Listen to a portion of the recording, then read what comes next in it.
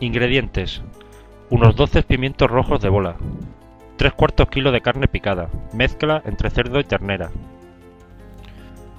Una cebolla, un diente de ajo, una pastilla de caldo de carne, medio vaso de vino, un vaso y medio de leche, dos cucharadas de maicena, tomate frito, sal, orégano y aceite de oliva.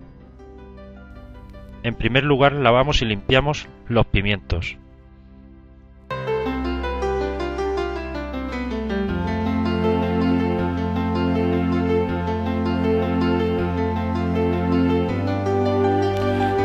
Una vez limpios todos los pimientos, añadimos un poco de sal, los movemos y los dejamos reposar.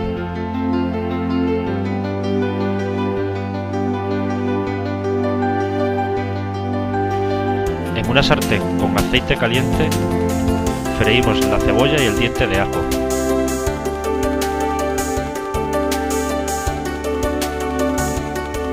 Cuando se empieza a pochar la cebolla, añadimos la carne picada.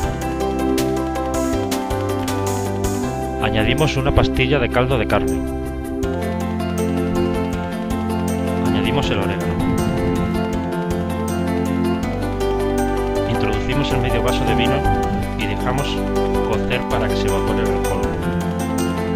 Añadimos las dos cucharadas de maicena y freímos.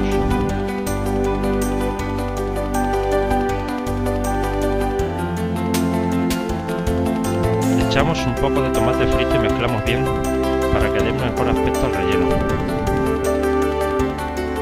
Una vez conseguida la textura del relleno, dejamos enfriar.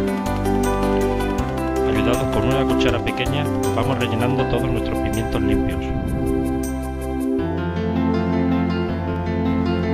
A cada pimiento relleno le ponemos la base del tallo a modo de tapón, para que no se nos vierta cuando los estemos friendo.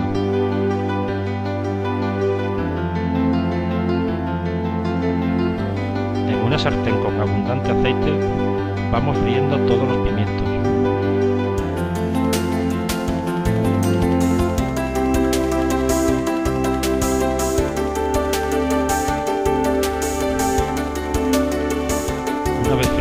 vamos retirando y los introducimos en una cazuela que mantendremos siempre tapada.